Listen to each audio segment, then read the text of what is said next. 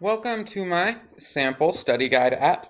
I made it because I'm very bad with history definitions.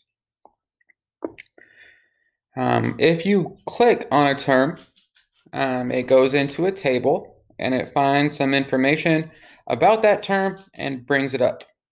Um, so for the Mexican Constitution, it brings up the definition associated, a set of reforms after the revolution.